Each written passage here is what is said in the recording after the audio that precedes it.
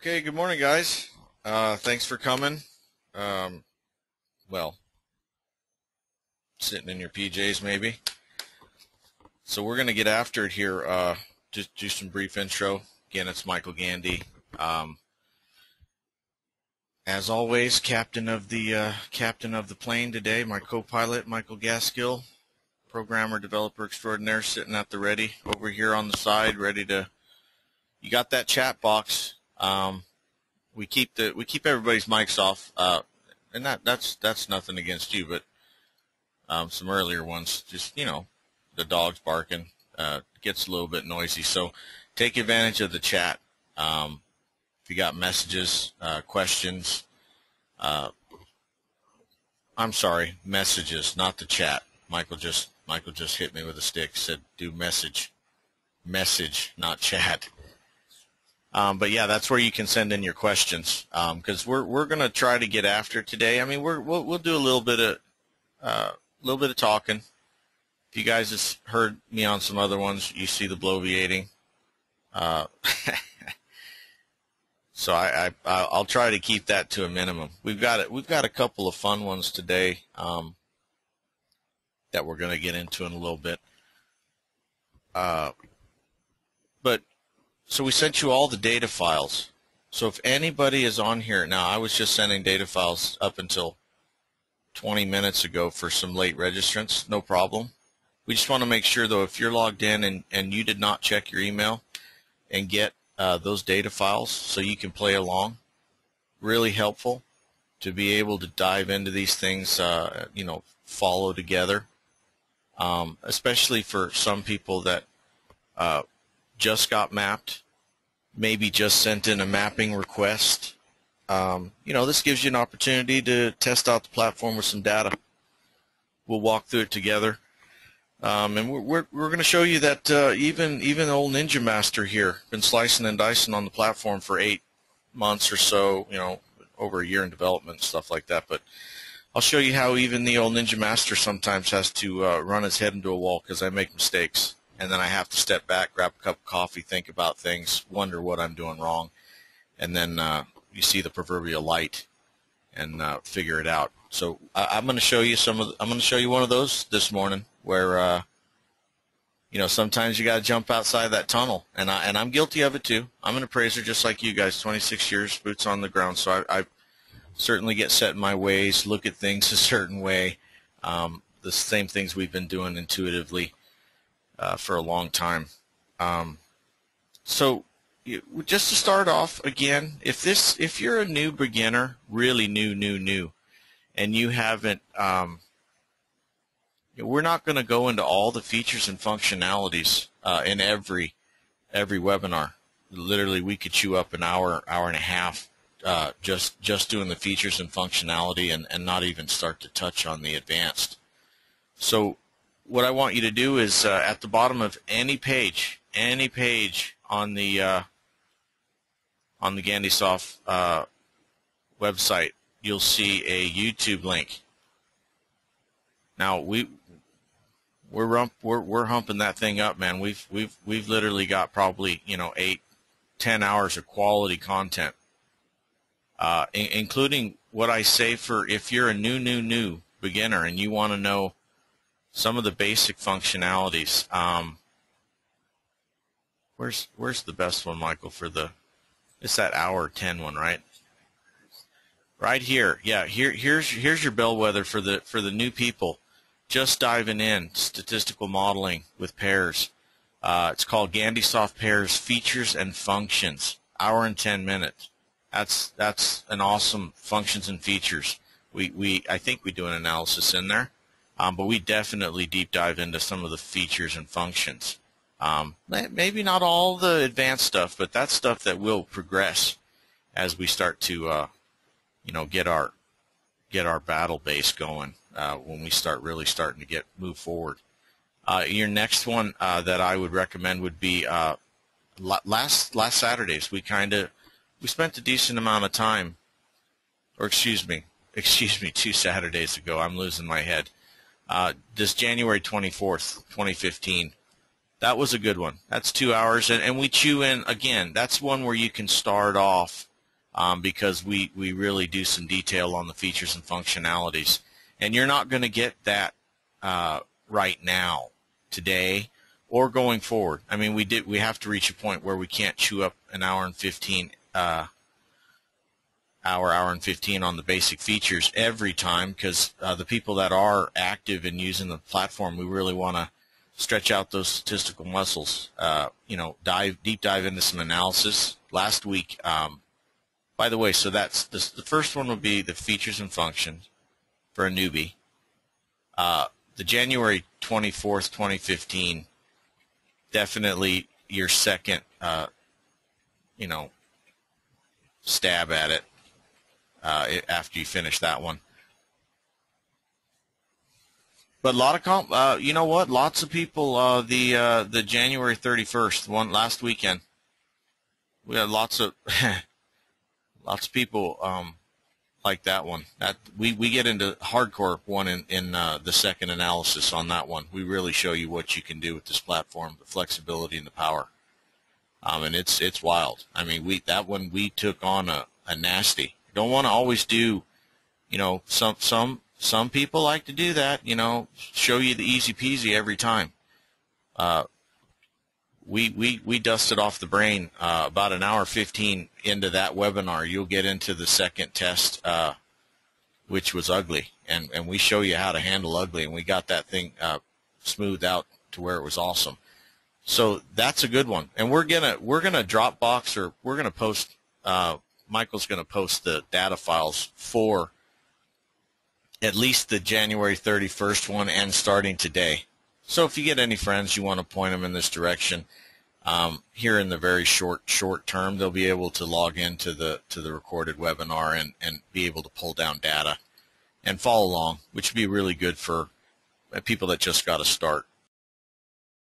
Um, so before we get going, just some brief stuff. You know what? Uh, Michael's Michael's musings, his his words to live by. Analyze your market, not your comps. I'm the other Michael. I'm talking about Gaskill, the programmer extraordinaire. Analyze your market, not your comps. Um, you know, comprehensive. You're being required to do statistical analysis uh, of a market environment. Your market analysis is is not necessarily going to match your 1004MC. Uh, that's just a reality. There's nothing wrong with that. I mean, when you talk about, you know, you know, math is not statistics. Statistics is math based. But you know, we've gone over this you know oodles of time. That's why paired sales has got kicked in the teeth the last five years because you know it's been it's been it's been mainly uh, thought of in the micro set of data, you know, microcosm of sales, just using your comparable properties. There's no you're not going to get statistical data out of just analyzing your comps.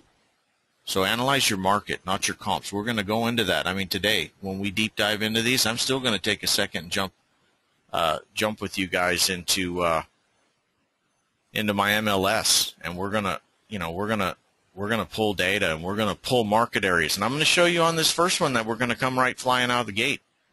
Old, uh, I make mistakes, and you know what? I did this. I just did this appraisal literally three day, three days ago, and I made a mistake had to get a cup of coffee, dust off the brain, and figure out what I was doing wrong, and then I came back at it uh, hard, and I'll show you. We we we tackle that. Um, had a few calls this week. Uh, you know, uh, people bothered by that CU. Uh, we'll we'll we'll. You're the professional. You know, we give you all the tools at your disposal. Um, you know, don't worry about some robo computer. You're the professional with geographical competency. No, there's nobody validating the outputs on that robo computer. So uh, we give you all the tools to be the professional, and it's wild what you can do when you just dive in and engage. You know, you know what's credible, uh, and, and, we give you all those tools. Um, and just again, but you know, to start, we've had a lot of people there. You know, there's no magic one solution fits all. I mean, there's no magic bullet. You click a button and everything's, you know, just going to be uh, awesome. Um, you know, there's other methods. This is a method, proven, paired sales analysis, iterative method. You know, it's uh, wonderful tools. There's other tools, regression programs. There's good ones and there's bad ones. I, I, I mentioned this before. There's a squirrely one out there with the best best hook in the wor- world, you know, called automated, and that's sexy. I mean, I, everybody wants that. I mean, automatic. That just sounds awesome. So uh, that that's squirrely. There's good regression programs out there. If you want to uh, look at some of those, uh, you know, there's you've got uh, StatWing, wonderful interface. Um, uh, it's a good regression platform, but you you navigate that platform. You're not trusting some number flying out of a black box, uh, which is the difference. Uh, you got David Braun's AVT. Uh, he's been an appraiser 30 years plus. Uh, built by an appraiser for an appraiser. Uh, they all have their pluses and minuses, uh, but you know, by all means, you know, this is a method. It, it, it might not be the method that you choose. Um, we think once you discover the power and the flexibility that you have in this platform versus uh, uh, other other regression programs that are pitching to you right now, you'll see the difference. Now, if you're a whiz bang at you know SPSS, you know you can go out there pay fifteen, eighteen hundred dollars and and longhand it for four hours of configuration, and you can do a lot of similar things in modeling um, that this platform accomplishes. A different method, a little bit, but uh, pretty much similar uh, flexibility. So again, you know, you're the professional. You're in control. Don't be afraid to engage. Uh, we'll talk. We'll talk later. Getting. I want to get us going. Get us out of the gate here. We'll talk later though about, uh, you know, where where the profession might be going in your opinion.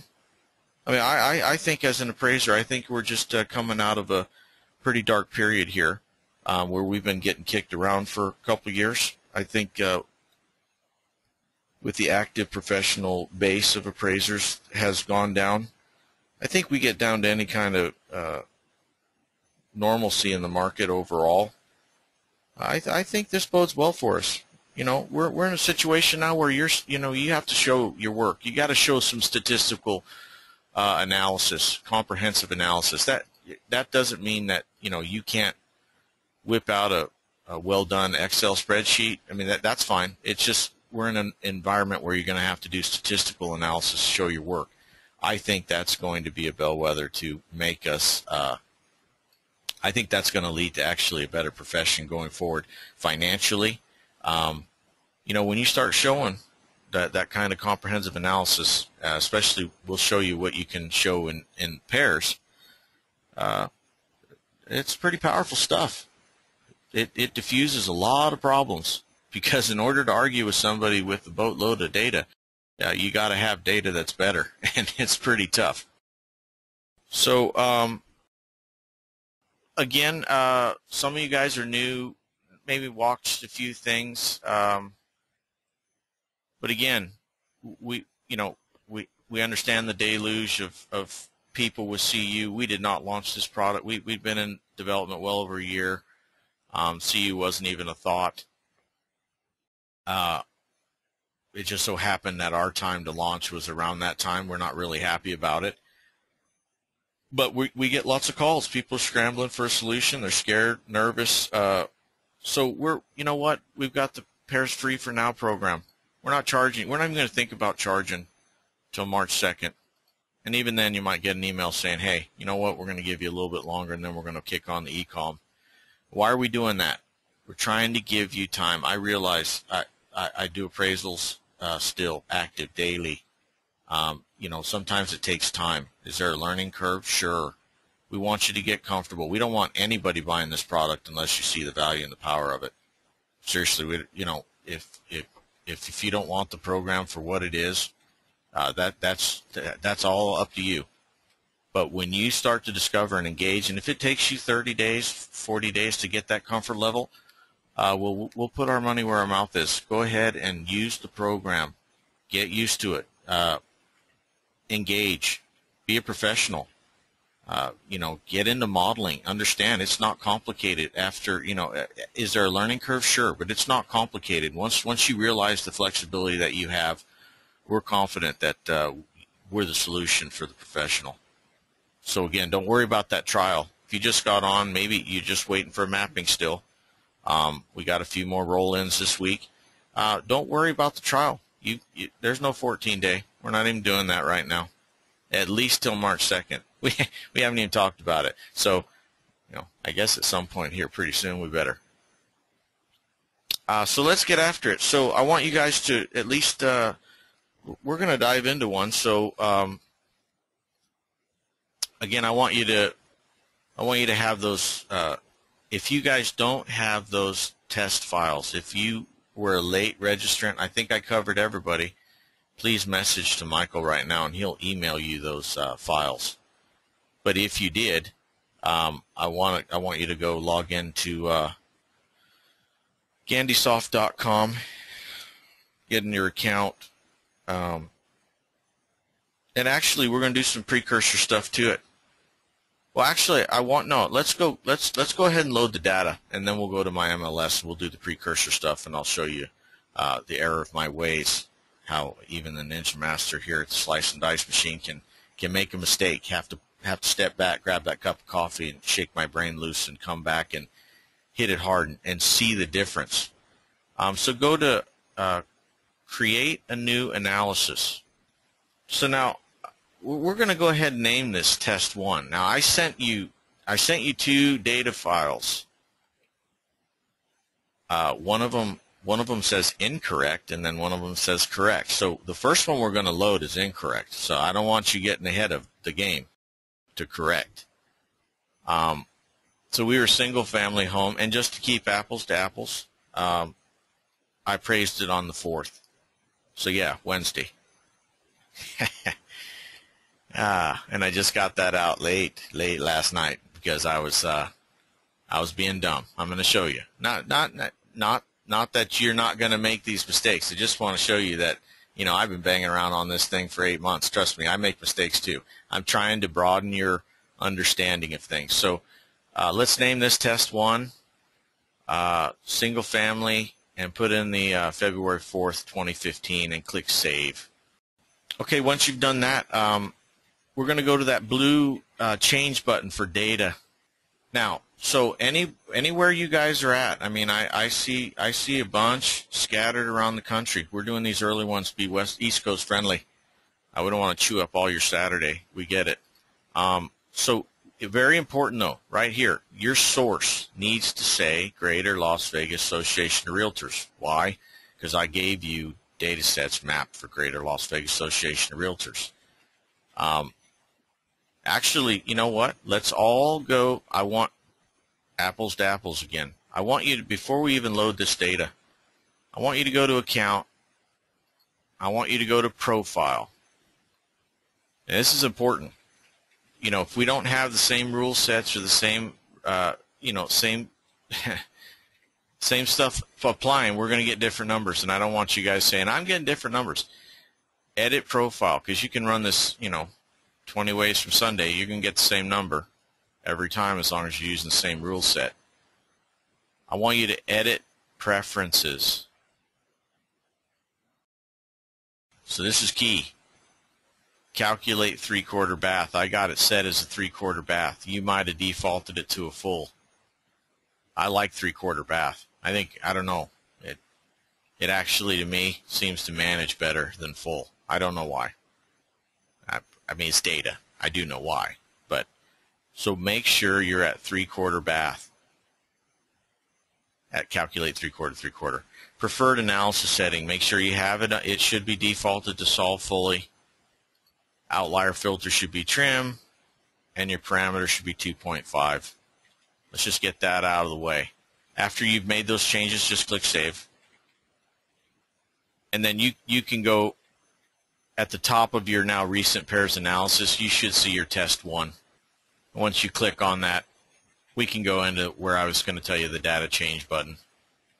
And if you guys, listen, if you're new and you're kind of clunky around on the platform, just just send a message to Michael. I can slow down a little bit.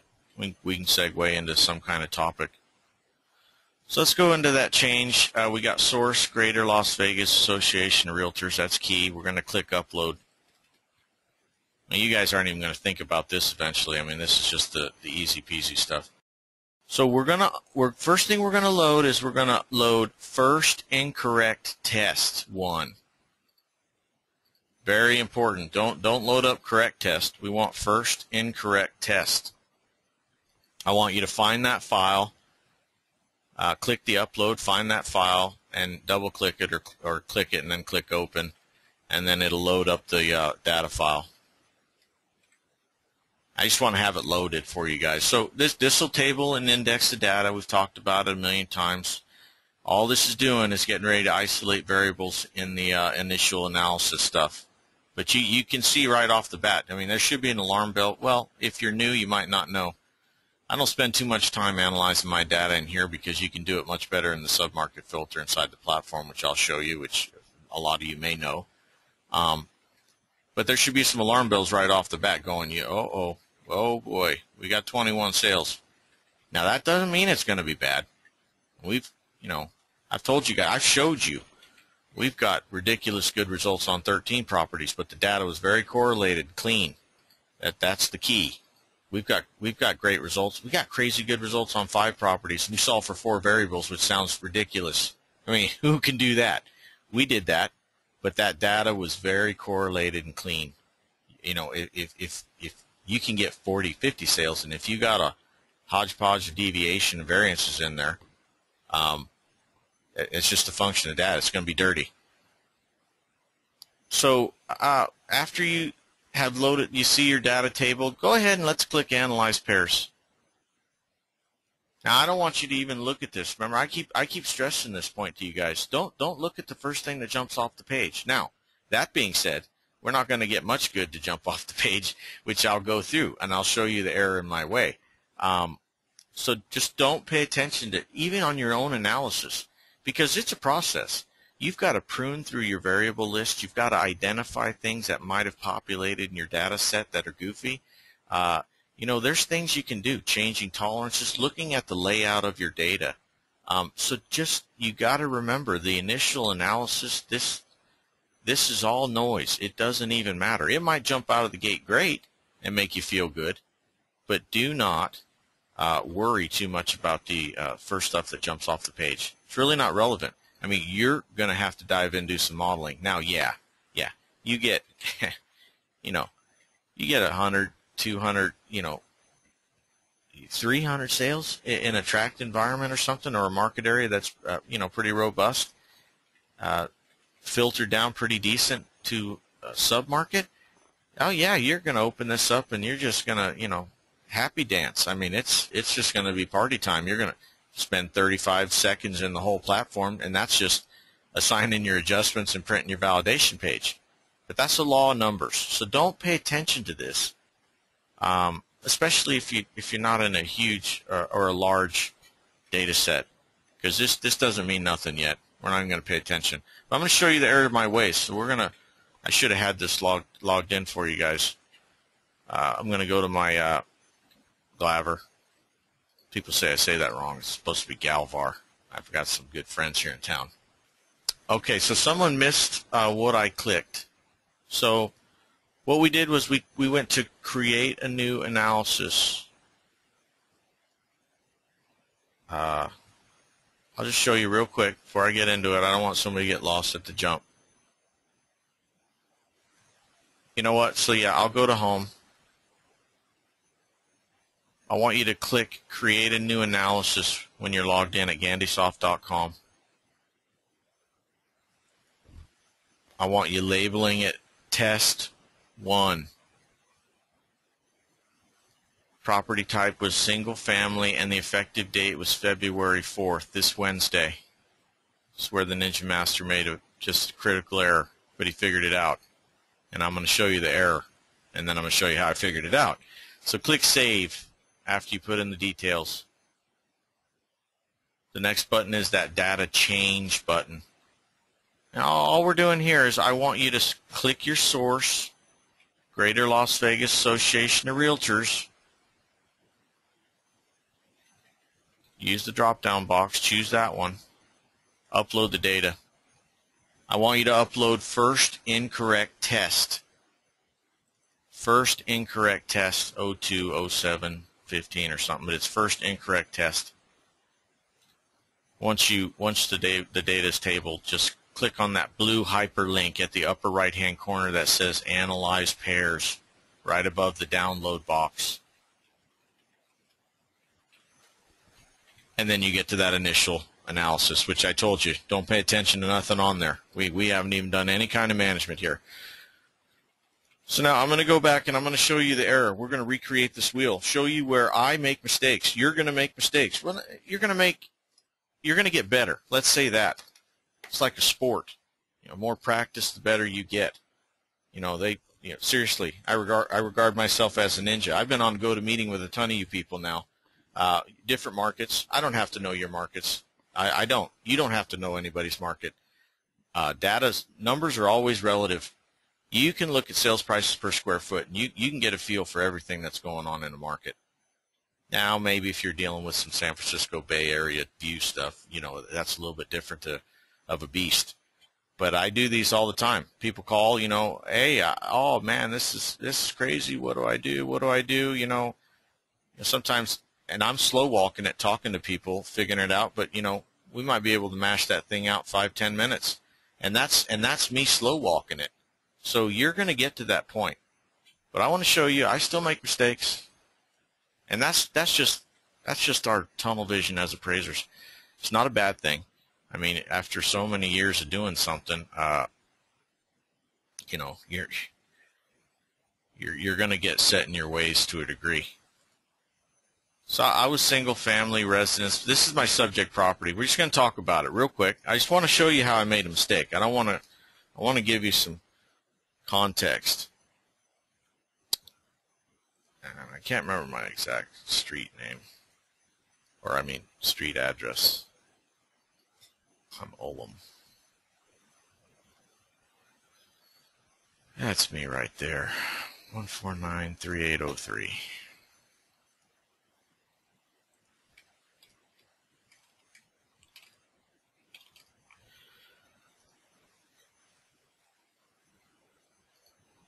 All right, so I got a new construction. I'll show you guys. Uh, you know what? I'll go ahead and give you a little bit of area view. Sometimes that's a little bit too noisy for people. But at least it gives you some context.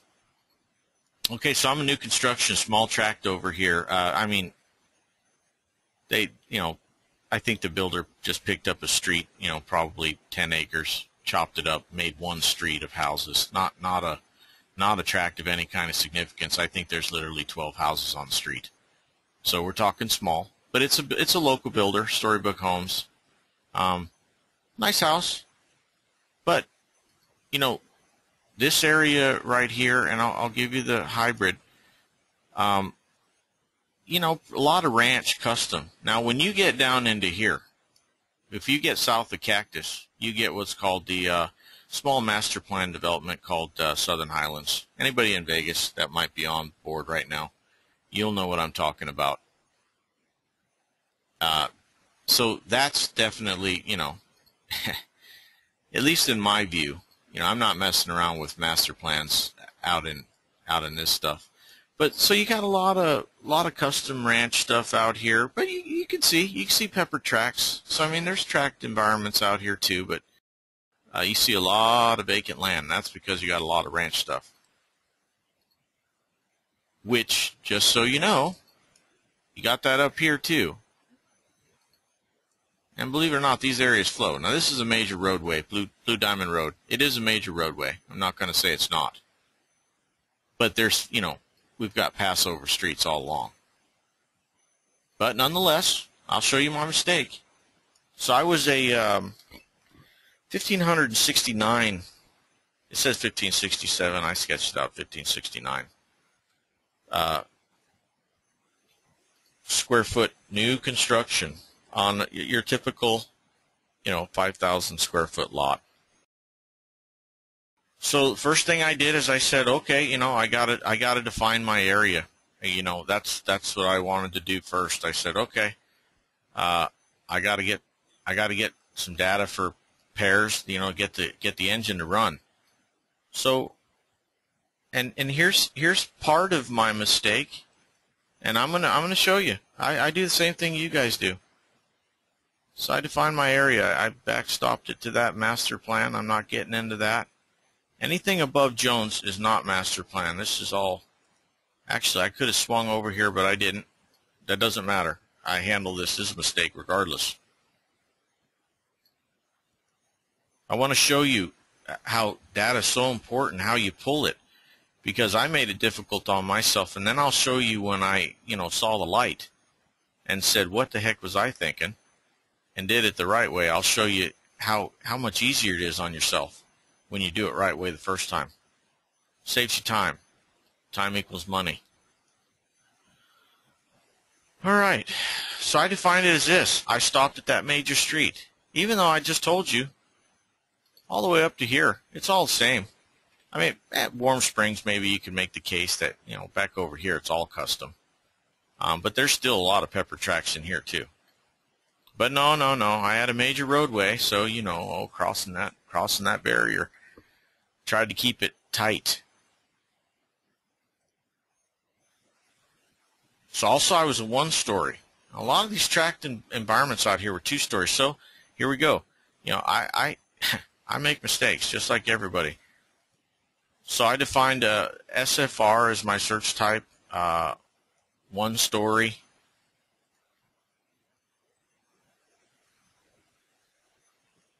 You know, old habits hard to shake. Um, I still put in 11. I should have filtered in in the uh, in the platform, but you know, trying to do 1004 MC2, you know, I put 1177 in 1961. That was plus or minus 25% square foot. And I was new construction, so I did uh, 2004 new.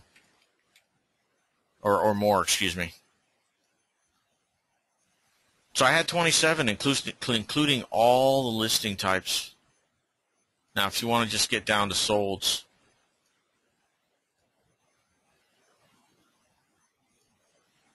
21. Now this is going to be a problem, especially new construction. I can tell you everything over here ain't new construction. And we've got a variable uh, for new construction. Glaver specifies it, so guess what? That ghost feature that you've never been able to figure out why those new construction sell so much higher than uh, resales, yeah, you can measure it out now, guys. If, if, if your MLS has that functionality. If not, I'm going to show you in the next uh, in the next test that we're going to do. Um, I'm going to show you how to augment your data set, where you can clean it, where this platform will accept your data set uh, with, with you creating a new variable. So I'll show you that. But anyways, so now go back to your pairs uh, panel to that initial analysis, which is, yeah, yeah, it's, it's, you know, probably right here, should have left it. But click on the stats tab, just want to show you. You know, I'm not making it up. 21 records. Remember, 21 sales. It doesn't count the listings, pendings, and contingents because we don't use those in the analysis for adjustment extraction. Uh, because until they close, they're just not really relevant. Um, you list your house for a million dollars and it'd be worth 50 grand. There's no law against it. Uh, free market. God love you. Maybe you get somebody who from Hawaii that's got a bag full of money. Anyway, so here's our data, 21 properties. That's not, that, that's definitely, and we've got that new construction, which, you know, hey, that doesn't seem maybe necessarily out of the ballpark. You never know. I mean, I'm a 240,000-ish, somewhere around there, um, sale price. You know, guest house.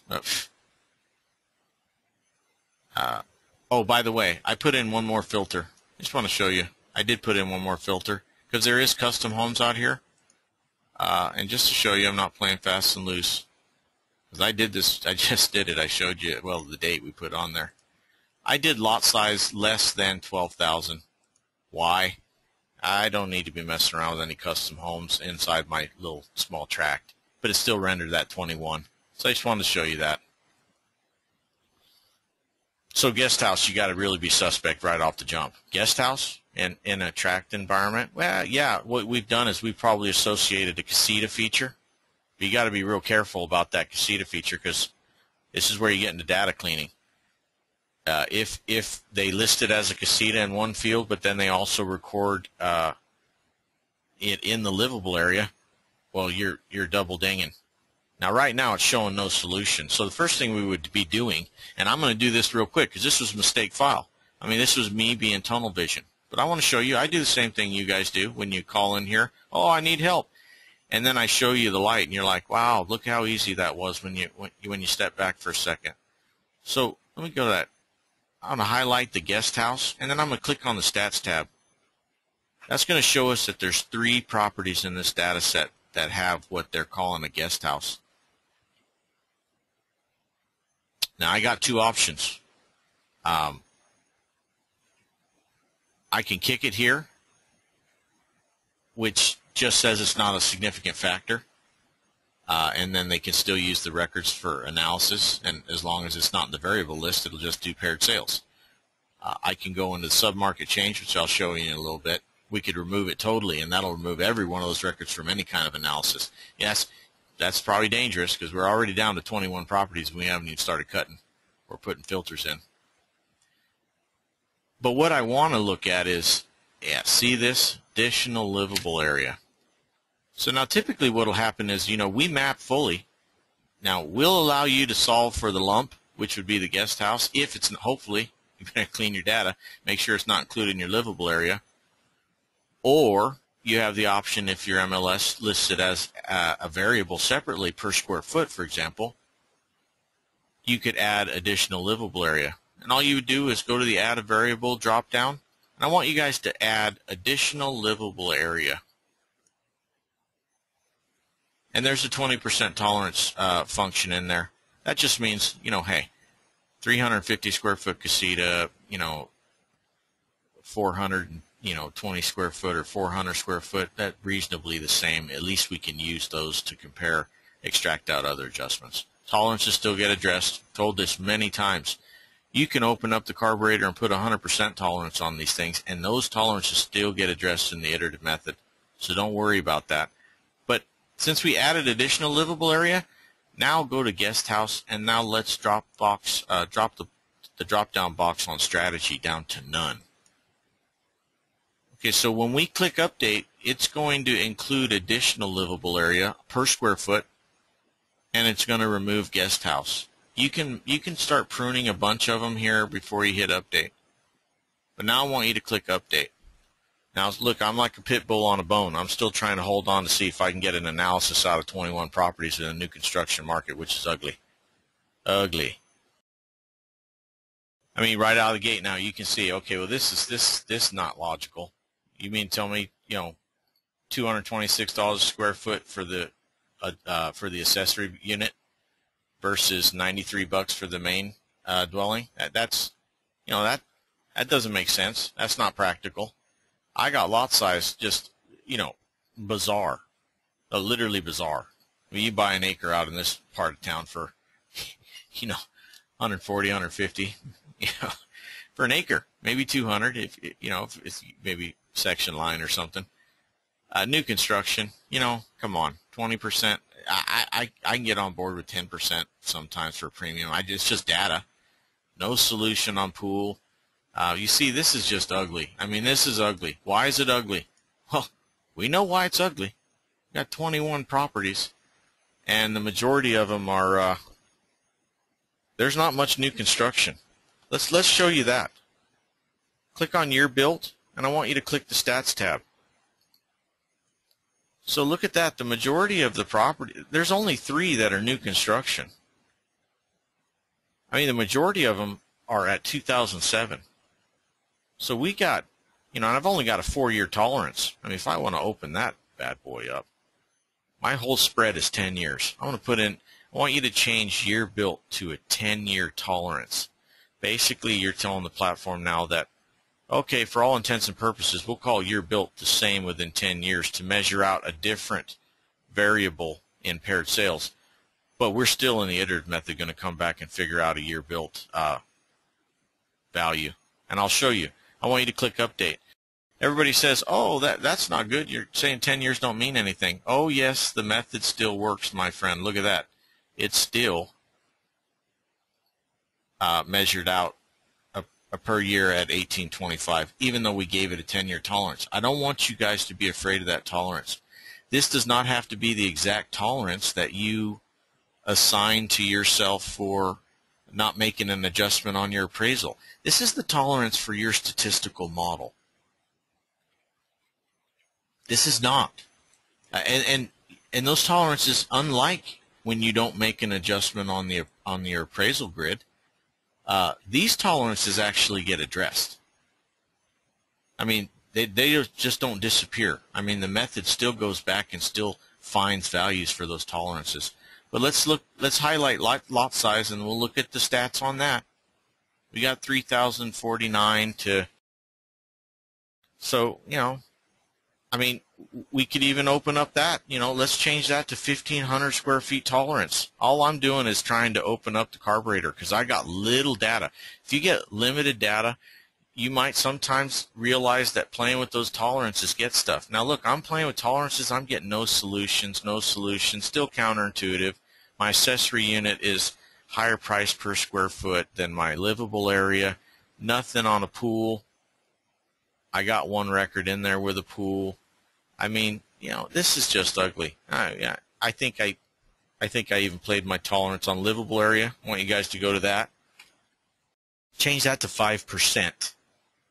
Five percent. And as you can see, it's just a garbage it's not garbage. It's a matter of my data. I, now, first of all, we've got 1, 2, 3, 4, 5, 6, 7, 8, 9, 10 variables in my data set. 10 variables, excuse me, that we're trying to solve for in a data set of 21 properties. Now, typically, typically, um, and we're not opponents of regression at all. Uh, I've used regression. Uh, off and on for years. I mean, I, am not always happy with it. Sometimes, you know, it's okay.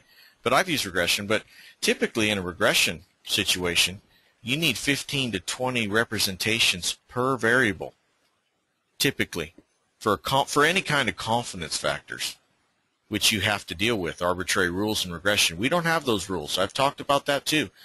We don't have to worry about residuals or base or none of that junk. Every, we're, we're isolating variables. We're solving every property has a base.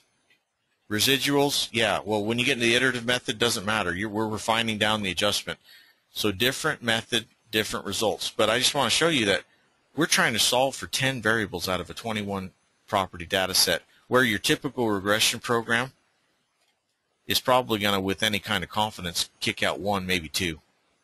I mean, you might be able to manipulate it and, and get some uh, some adjustment uh, that you might not scream about, um, three or four, but you know the confidence levels aren't going to be there. I mean, they're probably going to say not significant or stuff like that, and that's just a matter of, you know, that's just a matter of, uh, you know, the data.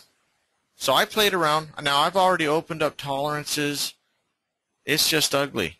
And so at this point, you know what? Uh, yeah, the old Zen master here, I beat my head against the wall and I gave up for a little bit. Uh, I'm not a quitter though. I actually took like a respite. Let's call that. I took a little hiatus, had some coffee, thought about it, uh, shake shake the brain loose, shake the brain loose. So now I want you to go because we're going to give up. We're going to move forward. I, I, we're going to have fun today because this right here you know, when you start looking at it, and you know what? That's why I didn't didn't quit because I looked at it and said, okay, good lord, I'm trying to I'm trying to solve for new construction, some pretty significant stuff here on 21 properties. Now that's just being silly. So I just needed I just need to remind myself of the things I keep telling you guys to do. Uh, but I did it. So in the upper left-hand corner, now you'll notice a pattern here, guys, in the in the program. Upper left-hand corner, left goes back a panel. Upper right hand corner goes forward. So this is back. So I want you to go to the import data screen again. We're going to go back. Why are we going to go back? Because I just totally massacred my data collection. That's why it's so important. I want to show you what I did. And then we're going to do this again together. And then you guys are going to be like, oh man, I, I did what I tell you not to do. I made it difficult on myself. So I want you to, I want you to, before we load the data, just stay here at this screen. Source, Greater Las Vegas Association of Realtors, and then you've got your data tabled. I'm going to hop back to MLS. So I'm going to show you what I did. So I started thinking about it. Remember, I'm just like you guys. I get tunnel vision. Listen, I, if we could do everything statistically supported on a 1004MC, sometimes you can. Good tract environment, like I said, you get 100, 100 records, you know, 200 properties in a, a sub-market of, of, you know, fairly clean data and similar. Holy smokes, man. We, you know, we've, we've knocked out 12, 15 variables in a set like that. I mean, and we're talking you know bang on numbers that you would smile as an appraiser and be like, oh yeah, that's that's what I'm talking about. That's what I want to see. Um, so, you know, or if it's clean data, you can get good stuff, but you just got to think about it sometimes. And I make these mistakes too. So, I just told you earlier that you know this is a suburban area too, with peppered with all these tracks. Um, now there's that major boundary, and I know, like an appraiser, you know, we like to ah that's it. Just like, you know, 15, cro- crossing Interstate 15. Okay, that might be a little bit of a no-no, even though there, this is feeder street. This is feeder street. Uh, this is a feeder street. I mean, you, there's access. It's not like it's landlocked. Now, you don't have your next one until you're down here, so, but that's that master plan. They're keeping themselves isolated. Uh, so, what's the first thing I did? So now all of your MLS may not have it um, the way Glaver does. Glaver, Glaver actually, and, and, if yours does, then it works. Trust me. Um, Glaver actually, first thing I did is I sat back to myself and I said, okay, what am I doing wrong here? Glaver actually, the way we've mapped Glaver, they actually specify one story. So the first thing I thought was, is okay, I know what I need. I need data. If I'm trying to solve for six, seven, eight, ten variables or anywhere in that neighborhood. I need data. Now, I don't want to be pulling up a bunch of custom homes in here. This is crazy. This is a separate area. That, that, that ain't the same. This is separate area. I'm just not going in that master plan. I'm just not going to do it. Maybe you would, and that's okay. If, if you thought that was okay, heck, it probably wouldn't give you that bad of results at the end of the day. I don't know. But I just didn't. I'm kind of stern and stubborn at times. So first thing I did though is I took out one story. Now, I took it out because I know that Glaver specifies one story and two story. Um, so I can use one story as a variable. What's that going to give me? That's going to give me how much of a premium a one story sells versus a two story or above. So again, I can increase my data pool because I can I can make a variable to solve for it. But what that does is is all the other adjustments. Now there's more data to run, and you're still solving for that difference. So uh, it's just the, logically it's the the right path. Now if you if you if your MLS doesn't specify one story, Michael's working on a special solution for you guys. I don't know when that's going to be on deck. So you need to you need to kind of see if if yours uh, if you have, you know, play around, load up a test file with one and two story properties for no other reason than to go into it just to see if in your variable list if one story is an option. If it is, then you're mapped, uh, yours, your MLS is a cooperative one that's allowed you to map. But the first thing I did was I took out the one story. Nah, you know what? And I'm, I'm silly. Sometimes I'm crazy. I, I left those parameters in there for uh, livable area and year built. Year built, you know, new construction, I don't want to trail out too far. I mean, design standards, stuff like that. So now I got 59 records, but I'm not done yet. Now I started looking at it, I'm like, wait a second. Wait a second. I said, th- there's feeder streets all through here, and this is the same area. I mean, if, if I lived in Southern Highlands actually for uh, a couple of years till I got tired of being landlocked feeling like I was out on an island all by myself. But I did it when that master plan was brand new. There was no commercial developments out here. Um, so this area out here, same stuff. Blue Diamond Ranch. Uh, over here you have these little Pardee tracks, and this is all the same stuff. So you know what? Except for up to Warm Springs. Past Warm Springs, you're all custom. So there's no reason. I could have roped it in. It probably wouldn't have pulled any data anyways. But I just increased, I increased my market area to where it should have been. Now, I don't necessarily have to do, even though I did, I did my 1004MC based on the same information. I mean, I had similar utility, 1100 or, you know, my 25% plus or minus. There might have been some different design in there, but I modeled out the adjustment. Now look what happened. I got 115 records. Okay, you're you're getting into happy town now. When you start to get numbers like that, you're feeling you're you're stretching out those statistical muscles, saying, "All right, I'm I'm ready to I'm ready to get nasty now. I I, I got data. I got ammo for the gun. You get those kind of numbers. It's just the law of numbers. It's how it works. So let's go back to the GandySoft uh, your your data page where you should have the source as Greater Las Vegas Association of Realtors. So now here, I don't want you to touch anything yet. I just want to tell you something. So if you ever get lost, you know, sometimes you start, got a challenging data set, you, you start changing tolerances, you forget your place. Uh, if you ever come back to this page and click reload, that takes the same data you had and starts the analysis from scratch. Kind of like, kind of like the eraser, you know. If this erases everything you did and starts you from scratch in case you've lost your way and you say, dang it, when I started out I was close and now I've gotten so far down the rabbit hole I forgot where I am. But in this case, we're going to click upload because we're going to actually upload a whole new set of data and that's going to blow this out. And there's no reason for us to create a new file. I mean, I would have had in my file number in there. We're just going to replace the data. So now I want you to upload correct test 1 0207 215 text. Correct test 1. I want you to load that property uh, file. Okay, so now we, we tabled and indexed that data. I don't know that, uh, I'm just going to double check here. I don't even think I used, just to show you, yeah, I didn't even put in the listings, pendings, and contingents because I wanted to show you we had 115, there's 114 here. So, you know, just so you know, that was the same data set that I have, minus one sale, and that's probably because I, I did something goofy with my polygon. So now I want you guys to go up to back up to that upper right hand corner and I want you to click Analyze Pairs.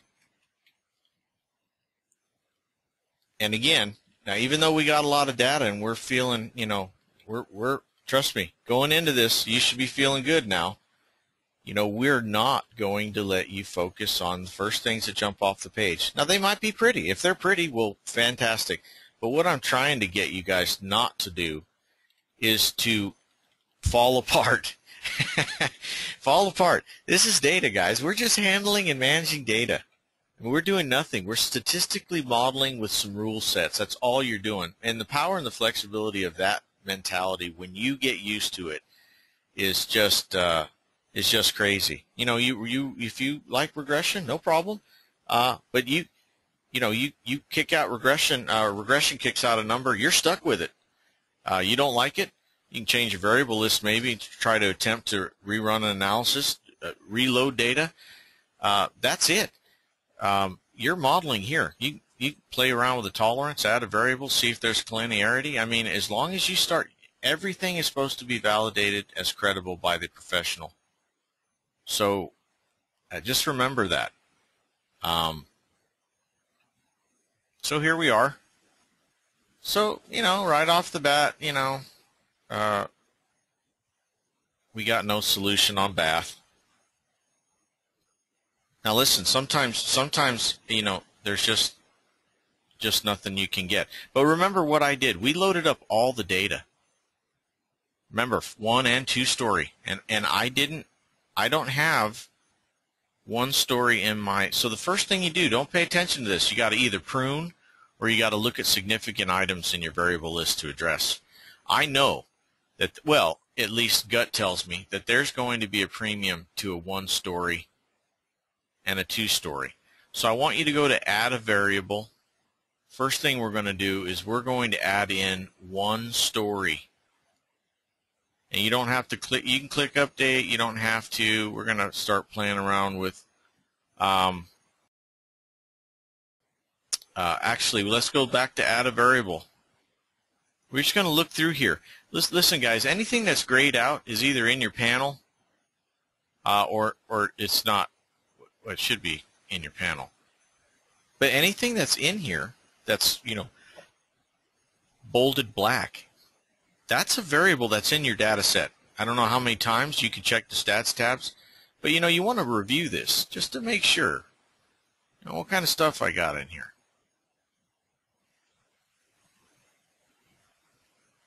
Now, I did SFR, so townhouse shouldn't be in there. I don't know what that is. That's but God love realtors. You know, you might be one yourself. Yeah, I get it. You, you know, there's no police on you uh, entering some information incorrectly, so it happens. But look at this one up here. This one usually, this one usually makes me at least pay attention. Additional livable area.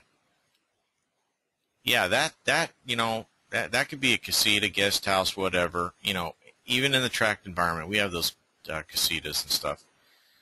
So I'm I'm going to add that. I'm I'm, I'm going to add that in. Now I'm not I haven't updated yet, and I'm sure we're going to have a lot of stuff here. I'm not going to deal with guest house.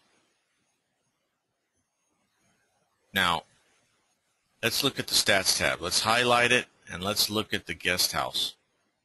So we got three records in there. Hmm. Okay. I just don't like the sound of guest house. I like additional livable area, but I don't necessarily like guest house. Actually, I don't think I like it uh, at all. So now, if I removed it here, none. I just say it's not significant, but I don't think I like it at all. Let's let's let's let's play uh, with the submarket filter. You know what? Let's so let's go into up here in the upper right hand corner, change button, submarket. Want you to click that. And let's uh, let's go to add a variable. Let's go down to guest house, which which is what I just told you. I don't even know if I want to deal with it. So once you're on guest house, just just highlight no blue, and then click save. Now we added in one story additional livable area, so it's updating. It's going to start running an analysis here. So, you know, it's going to start changing things. Uh, guest house is going to be in the panel, so I'll show you. We're going to take that out because that's just it's going to say no solution. You'll never get one. We just removed it from the variable list. Now remember, I'm slow walking this, guys. After I came back from that coffee break and I loaded up this data, yeah, I spent three minutes. I mean, I spent three minutes and I got I got to where I needed to be, and I was on to the next one. I did that eight second ride, and boom. And that's what that's what you, we're going to get you guys up to speed. Just got to engage.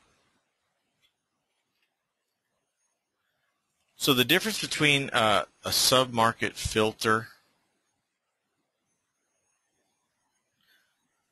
okay, so submarket, listen, I've, I've said this so many times, I don't even know why, but submarket filter, if you add it in there, you remove it from the variable, or excuse me, you remove the record from analysis completely.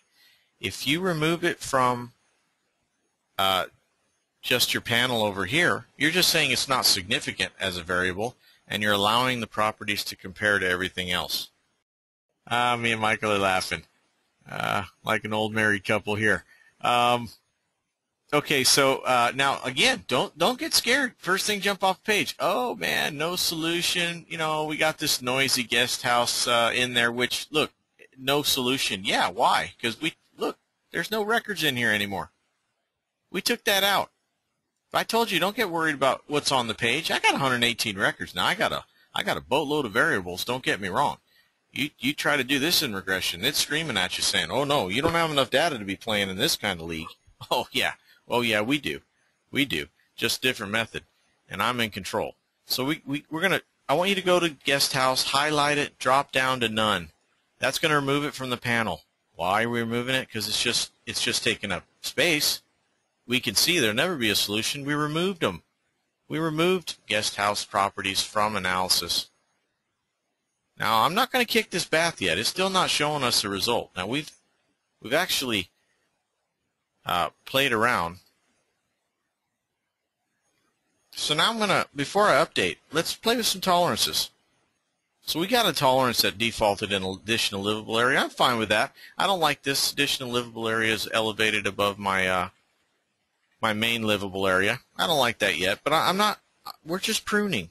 We're positioning ourselves. So we're gonna. I want you to go to livable area. I want you to change that tolerance to five percent. What is a tolerance? Remember, guys, the initial process is just like paired sales analysis, traditional paired sales analysis, except we synthesized it with the tolerance. So I want you to think of it this way. We got two properties. One of them is 1,480 square foot. The other one is 1,520.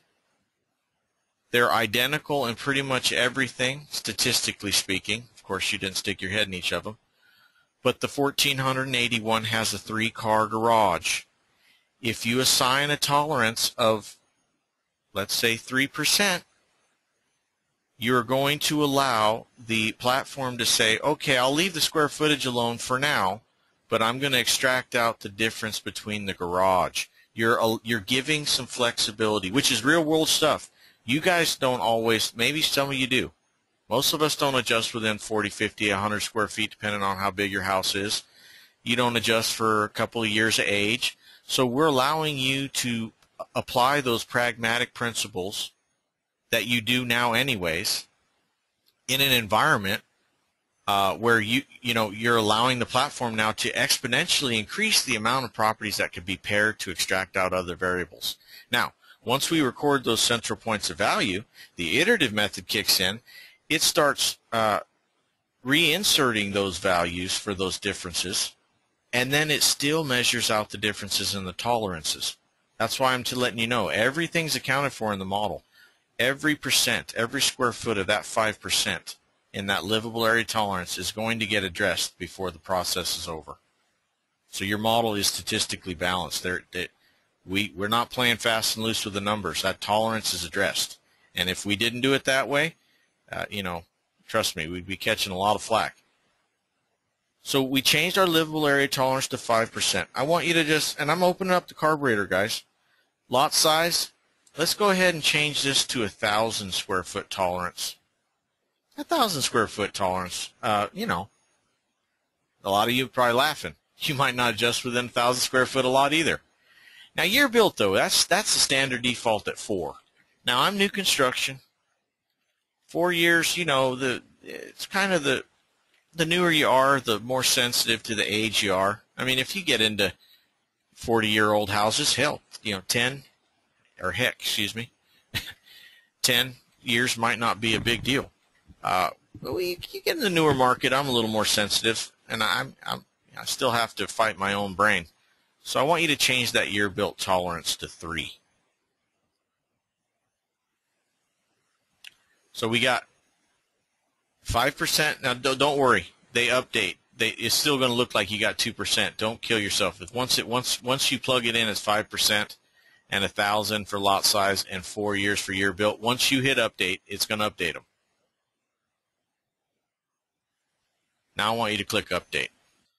All right, the hamsters are running around. They got calculators in their hands. I mean, now you know what? There might be some new people on here, so I'm to get take up some dead space. So right now, remember, guys, you can load up you can load up uh, as many listings, pendings, contingents, and sales as you want.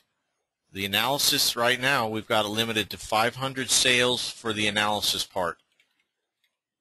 So if you you can load up 4,000 sales, it's just going to give you a little bit of a warning, and you need to come into your submarket filter and filter those down to 500 or less to do the analysis. And if you don't do that, it's just going to analyze the first 500 that are tabled and indexed, which might not be the most uh, relevant 500. Now we did that because, like I said before earlier on a webinar, we had you know we had some users that were roping in three, four thousand property records. we've done it in the past. You can do it. It's huge resource hog, and it's actually, I mean, if you have special needs, litigation, uh, if you're litigation support, we can probably work that out for you. We just don't want everybody doing it because it's literally billions of calculations going on. I mean, there's, you know, we got to keep the lights on at some point. Um, so again, don't be scared about what's jumping off off the page, uh, because we're still pruning. We're gonna we're gonna hustle through this. Like I said, I did three I did three minutes when I got back with a coffee cup, and I said, "Oh man, what was I doing wrong?" So first thing now now we're gonna start chopping. We're we're gonna start chopping. Okay. Uh, bathroom's pretty good right now, so I'm not gonna chop that. This this is light. I mean, comparative to me. But we got we got no solution on gated. So, you know, first thing, let's kick it. Kick. It hasn't shown a solution in most every different variation we did. So now we're now we're going to start getting groovy. and We're going to start kicking stuff, and we're going to start eyeballing stuff if it's credible, because we've we still got a whole ton. One, two, three, four, five, six, seven, eight, nine, ten, eleven variables we're solving for. Now look, when we kicked out gated, bathroom went to no solution. We liked the number before, but we don't like this. Also, that livable area for that accessory building, uh, silly. One story, no solution. I'm not kicking that no solution. I'm not kicking one story yet because you're just not, I'm not convinced that there's not a premium being paid for that. So you know what? Uh, bathroom's been acting squirrely. Now I'm lucky right now. I, all my properties have uh, two baths, but I did have a comp I was thinking about using that was three bath. But we'll, we'll talk about that here in a second. So we're going to go to bathroom. I want you to go to the strategies, drop down box none, and update it. We're getting rid of bathroom. We're saying, hey, bathroom, uh, acting squirrely or not significant, whatever you want to say, uh, we're, we're kicking it. And this is what we're doing. We're pruning. We're like, you know, we're like playing along. Now, wow, now, wow, look at that. Look what just happened. Now, this will make perfect sense to most of you. So, primary drivers, bathroom, you could technically, that, that one can seesaw. I, I don't know that primary is a good word. Certainly not tertiary. I mean, it's, a, it's an important variable. Don't get me wrong. But here's the deal too, guys. In an environment where we're solving for one, two, three, four, five, six, seven, eight, nine, ten variables. Ten variables. I dare you to do it. I dare you to do it in most programs with any kind of confidence factor, other than ours, because we don't have we don't worry about confidence factors. We solve for variables. We isolate stuff and we solve. And, and by goodness, if if that number is credible, under your rule set, they can be they can be redone a million times. Uh, you know, the same way. But but this is what you got to remember sometimes you're going to catch data uh, or a variable that's going to catch a variance or deviation, such as bath or gated. Now, if you solve for 10 variables fairly credibly, though, guys, and you, you start to apply those adjustments on the grid, maybe I have maybe I use that property with the three bath. Now, a lot of you might be saying to yourself, I, I wouldn't want to use it. We didn't solve for it. Why not? Okay, I solve for all the other major variables. I mean, I solve for every variable other than this bath. Now, let's say I grid out five sales. Let's say I grid out four, and one of them's that three bath.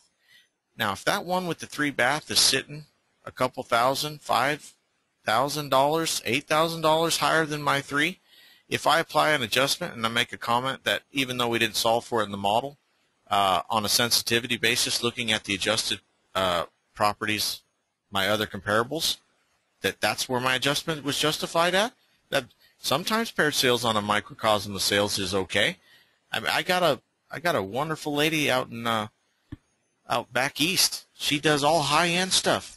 Uh, she said she can't use regression. She'll get she'll get six sales over a period of three years, but she's dealing around in twenty eight million dollar properties. Uh, you know, she has no alternative. Regression models don't even work in her neck of the woods. So you can still apply an adjustment if it's not in your variable list. But I will, let's go through what happened. I'm a $240,000 sales price. Okay, got a nice premium for one story versus two story. You know, I'm 1,567 square foot. Definitely I like the feel of a one story ranch versus a two story huffer with stairs. Um, But look at this additional livable area, and this is good. Now, look at our real livable area. Those numbers are almost spot on. Now, let's all be really serious. Attached or detached casita. I mean, the utility and the functionality of it is pretty much equal if you think about it. In a lot of cases, which I made a joke last week about it having an in-law, uh, you know, you might the detached option might be the better way to go. A little more space, a little bit of yard between you coming in the door. I don't know, but my point is, is though on a on a utility basis, I mean, they're they're I mean the same hopper. So look at that though. You got additional livable area we'd got, let's say, and our regular livable area uh, right around the same number. Now, I was 200, and Michael Michael brought this up to me after the last webinar. Um, he said, you know, we've gotten a lot of results too that were in the 40s um, uh, as far as livable area price per square foot um, based on a percentage of uh, livable area. And, and, Michael brought that up to me, and, and, he's right. I mean, for the most part, I like to say that it's uh, 50 to 70 percent is your sweet spot. Um, but you know, it, it, just depends. We we do have plenty that get into uh, plenty that get into the uh, into the 40s, and and that's actually in the 40 range. But let's look at the totality of all the adjustments. Lot size, uh, you know, five bucks a square. Yeah, okay. Four to five. I said you could buy an acre out there for 150, 175, 200. So that I know that that number's good. New construction, you know, almost 15 to almost 20 grand um, for a kicker. Hey, you guys, if you do new construction like I do, there's always been that ghost variable. We can't you know, you, you attribute it usually to personal preference. Well, people get to pick out their own colors, uh, whatever. I mean, the effective age can't run off that bad in a year or two. Well, you, you can solve for it now. You've got statistical support and evidence that, that shows uh, that that's, and that's reasonable. Less than 10% for a new construction premium, I'm good. 20,000 to 24,000 something for a pool, I'm on board. I mean, less than 10%, great. REO repo, don't care. Leaving them in my model though, and I'm to, you know, year built. Okay, 1800 to 2600. We're in the new, you know, we're in the newer market. You drive that car off the lot, that thing depreciates pretty quick the first couple of uh, months, and then it starts to slow down over the years. Now that does not mean that uh, if I were doing an existing property, 2009, I might have a couple years where I'm saying well, that's negligible. Just because you have a per year is the same thing of the rule applies with the livable area.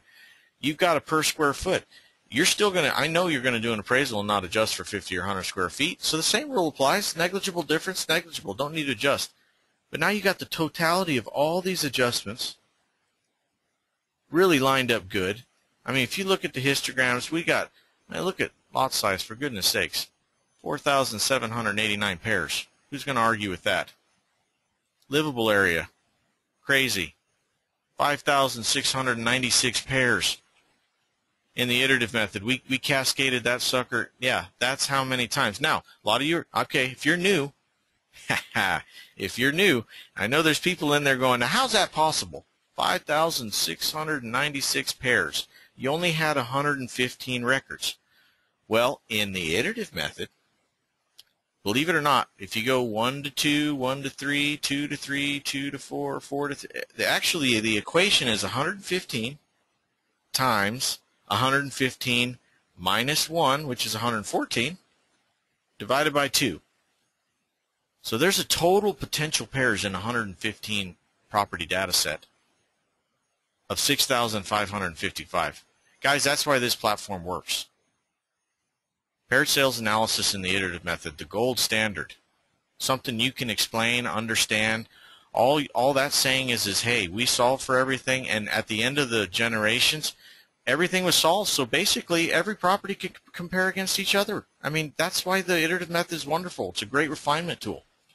Now, once in a while, for kicks and giggles, if you want to see what Solve Once does, what is solve once? We've gone over this. I'll go over real quick. Solve once means the first time that that variable gets a chance to solve for it with a minimal rule set. We do have a few rules set in place. We're not we're gonna we're not gonna let you rely on one pair. You know that's you can do that by hand. Put it in the addendum. This this is not that kind of party. So, but what you're saying is is once you reach that minimum threshold necessary to solve for that variable, it doesn't go into the iterative method. So I mean, if you get a variable that you don't like what it's looking like, you think it's high uh, or low, you know, take it out of the iterative method. What does that do? It doesn't refine it down. It doesn't refine and continually uh, cascade against other properties. Soon as it solves for that variable, it stops. Now, in that situation, it didn't really change it too much. But look at this. It went to 19 pairs. Why is 19? Because because we didn't let it go into the iterative method. It dropped down our additional livable area dropped down lot. I mean, some of these numbers still are not bad, and some of them are close. But look at let's let's make that solve fully again, and then I want to show you. So we had 19 in the first time it solved for that variable, which is very close to what it does in the uh, refinement process of the iterative method. Um, but when it pops back up, let's look at the different the difference in the number, statistical number of support for that adjustment. The evidence. Third generation, 1,796 pairs. Now that number is dang near as close as it was when it first solved, but it's been refined. And it, it was also in the refinement process, it allowed to cascade with the other variables further, which smoothed them out. So here, so you just, you just, you, we just, we just now ran through one where, and no, listen, I, I, we could play around. I'm not playing at this point. Hey, I told you, I get, I did it three minutes after that cup of coffee, jogged my brain, pruned out my stuff, opened up my tolerances a little bit, and when I got, when I saw livable area and additional livable area in some reasonable ranges, almost identical, and reasonable uh, numbers validated, you know, garage a little bit high. Okay, I didn't have a, you know, that, not really to me. I mean, overall, two hundred forty thousand dollars for hundred or fifteen hundred square foot house, brand new. You know, look, man, it's tough to argue. I mean, I can go into the histogram. I can look at the frequency. I mean, my high areas of the candle. Yeah, we got some low ones down here, but you know what? I got trim 2.5 as a filter. You know what? You want to test something? Let's test standard deviations, and let's change that to, to 3 instead of 2.5. Let's see what standard deviations. You're not going to have as pretty a histograms, but you still have a statistical filter. And sometimes it changes the numbers. You might like it better. Ha! Now you know you're getting the sweet spot. Look at that. We just applied a totally different statistical filter than trim. And everything stayed relatively similar. You know, our additional poked up just a tight. I mean, the adjusted ranges are the same. But your histogram's not as pretty. Livable area is going to be pretty because you got a ton of ton of pairs. You get a little bit more choppy when you get into you know this stuff.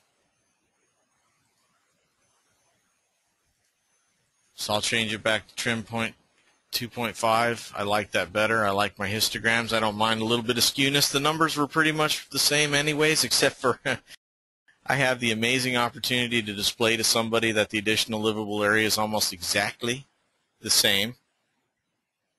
Oh, somebody just added market, asked about market rate. No, on this one I didn't. Now, there's a technical rate of 3 point, you can click on market rate, that change box if you want to look at it with me. I called this area stable. I'll tell you why. Yes, there's a technical one, 3.2%. I keep telling you guys, this is important to look at. Now, just because you see a technical increase doesn't necessarily mean it applies. That's just a trend line. But if you step back for a second and look at those candles, you know, I mean, come on. You can make the case that that's a pretty stable market. I mean, let's look at let's look at the last quarter, for example. And by the way, inventory's gone up a little. It's not oversupply. Um, quarter didn't make my case. Oh, look at half year. See? Just because that's a trend rate doesn't mean you're not supposed to be the professional. Step back for a second and look at the broader picture. Don't look at that line. Look at those candles, and you can change. You know, change it to whatever you want. But you know what? Peaks and valleys, guys. I mean, I'm I'm calling that stable. And on on my market rate, uh, or excuse me, on on my, my data, with increasing inventories and stuff like that, yeah, just because you know this high one up here is definitely, even though it's weighted, we take out the weight. Even though it's weighted, this certainly is definitely pulling us up. So I'm just not, I'm not calling that a rate. So I'm canceling out of that. And then, of course, you can blue hyperlink to define adjustments. I mean, I'm going to go through this real quick because you guys, if you've probably already seen this. So you know what? I additional livable area I did at 65. I did livable area at 65 the same. I did have one with a 200 a comp with a 240 square foot casita. no bath actually, just a just like it was. It is actually weird. It was broken out separately uh, on tax records included in the main dwelling. It's attached, but they broke it out separate, so I, I still give them credit for it. I'm just locking in, and I, you know, I tell you guys, I don't like that calculator. I'm rounding. People people aren't out there. People out there saying, you know, oh, I'll give you eighteen hundred dollars extra for that bath. That's that's that's silly. We don't even live in a really a quantitative, or excuse me, yeah, quantitative world, but we have to do appraisals based on quantitative rather than qualitative. So you got to play the game, play with the cards you're dealt. That's what we do. And you know, I even round in here. I mean, nineteen thousand. I could say nineteen thousand, twenty. I'm all right. I, I could do any of them. New construction. Seventeen thousand dollar kicker. There's my C1, guys, to C3 or C2. There it is right there. Yeah, let anybody argue that point. I got data. I, I guarantee you no robo computer's whipping that number out. Yeah, I want to see a robo computer do a new construction variable. That's not happening. You can do it.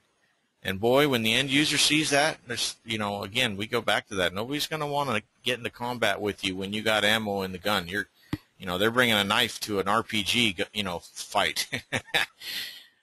so go to validate adjustments after you save your uh, adjustments, and this is normal. We got a we got a we got a bunch of people on this webinar, so guess what? We got the hamsters running around. Analytics are getting, you know, uh, have to get developed and all kinds of stuff. Oh yeah, oh yeah, guys. And you know what? The robo computer, he's not going to do ocean views. He's not going to figure out additional livable area. That's what I mean. You guys, don't be don't be afraid of this. Uh, CU. Just step up your game. Now you got to be practical. Listen, I was just talking to somebody that was dealing in a $350 square foot market. I'm not going to mention it. He's a, he's awesome person. Uh, funny as all get up. Been appraising forever. He's doing $45 square foot for livable area on, on and I, I, you know, we were laughing. I said, "Oh man, you're you're three hundred fifty dollars a square foot.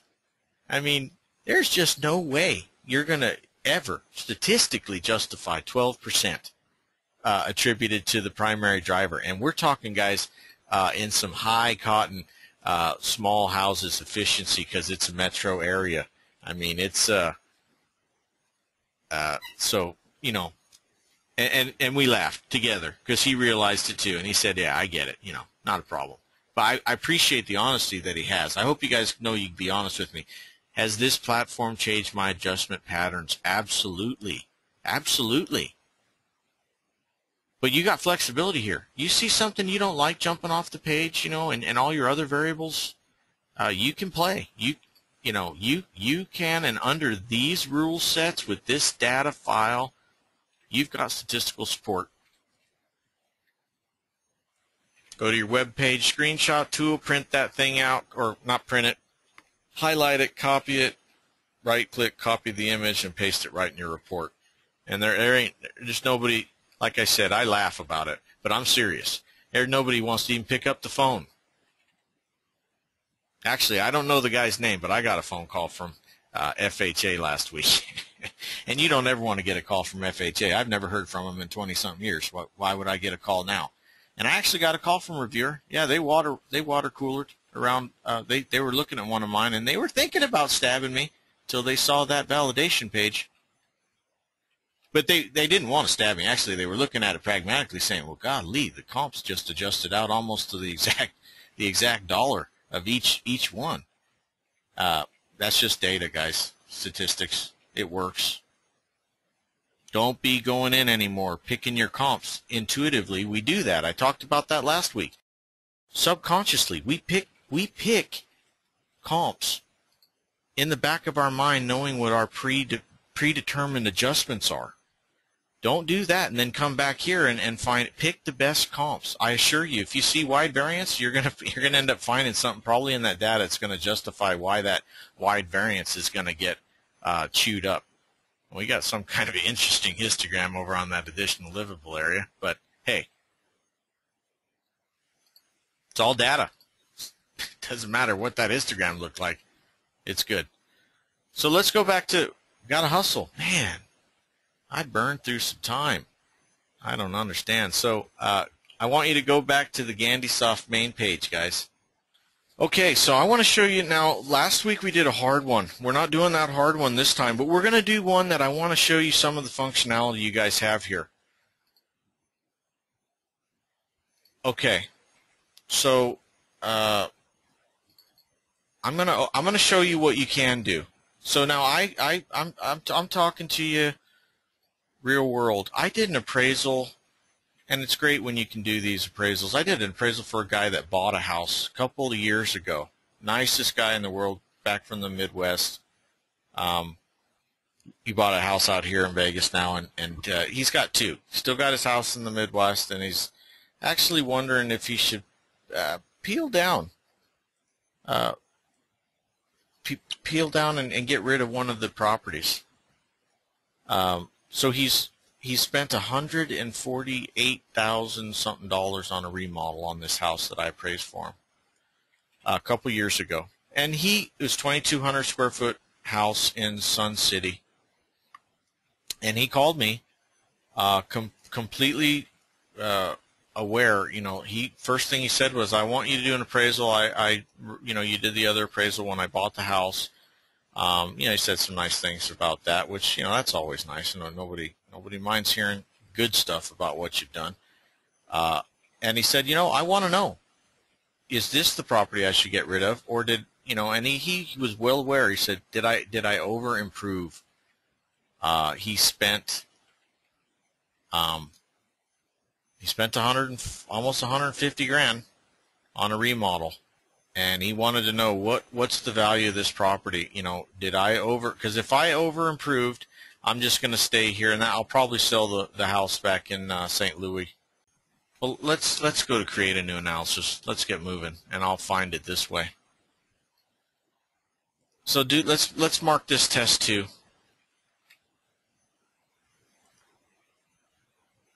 Uh, effect, uh, single family residence. The effective date January 25th,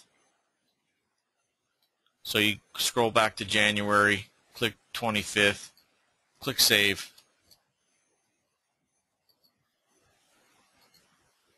Now I want you to go to the Data Change button. Make sure your source says Greater Las Vegas Association Realtors, that drop-down box, very important. And we're going to upload. Uh, I want you to upload test 2 cleaned with extensive remodel. Now I sent you test 2 uncleaned. I don't want you to use that though. I want you to load up test 2 cleaned. And I'll tell you why.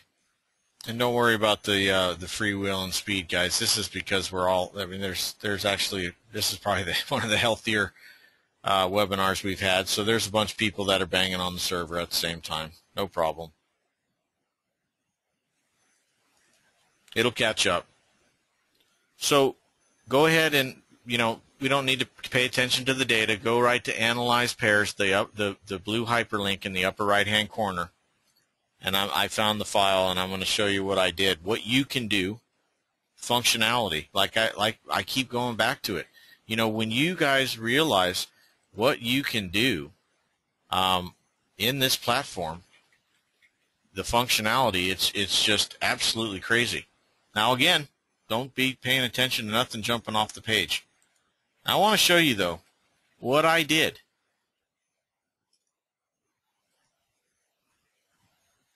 Here's my pairs format, guys. Now, I charged this guy a good amount of money because he had he had Taj Mahal. Only had 86 properties in all of Sun City, and I roped in I roped in a huge landmass. Well, just Sun City, of course, but it's a huge landmass. Uh, but it's all it's right there in the same area, so I mean it's all relative.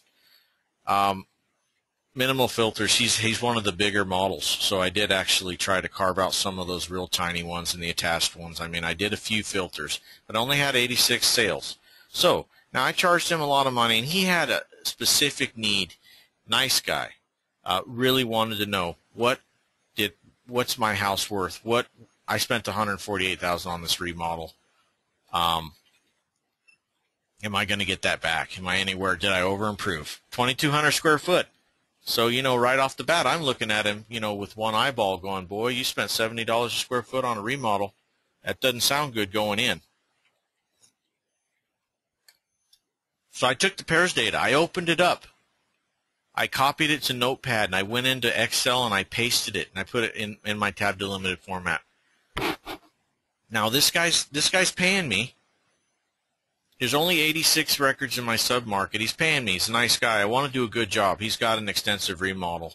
So what did I do? I in this case, uh, first of all, it's on GPAR, so I like I love doing that. And the guy paid me. If if people pay me, I love doing analysis. Hey guys, I, I do I, I do million and a half dollar homes. I charge them two thousand, three thousand dollars, and they're not that difficult. But I actually will. I mean, I'll I'll I'll I'll I'll break down every statistical data point in the world if you're paying me. If I don't have to drive around town like a like a fool, hey you got me at the desk and you're paying me. Trust me, I'll I'll I'll do some quality analytics for you. That's not a problem. And I only get usually called from the people that, you know, really those uh, high scrutiny type investor types, uh, you know, maybe hedge funds or or stuff like that where they got a high dollar thing going on. Uh, yeah, I'm not the cheap guy but I give you so much stuff that you know you can kind of the kitchen sinks included. So, anyways, guy's paying me. I charged him. He's a nice guy. It doesn't matter. He's got he got an oddball property. I'm charging him, but I told him I'll find it. So what did I do? I I pasted this and I made another field. I cleaned every record, guys. There's 86. It took me about, you know, literally 15, 20 minutes going through the photos. Um, and I made two fields. Now there was this one that I thought it had a full photovoltaic, you know, solar system, and I thought it was worthy. There was only one, so you can see I cleaned all these records because I mean I was looking at them, looking at photos, looking at remarks, and I made a, one field called extensive remodel, and I made this, uh, you know, photovoltaic system, the solar, just to see because I was going to test that too. But as you can see, extensive remodel, I had one, two, three, four. I had four properties out of that 86. Extensive. Now, when I mean extensive, I don't mean a well-maintained home. I mean this guy went hog wild, and I mean these other four people went hog wild. So extensive remodel. There was only one, believe it or not, with that uh, with that solar system. So this is what you can do. You can paste your data from, from WordPad. Go in, in there. Uh, create a different field. As long as your column header. Save it as a, uh, when you're done. Go to File, Save As. It'll ask you what type. Don't save it as an Excel workbook. That's not friendly. We don't like that. Go down to Text Tab Delimited. You can save it. Name it. You know,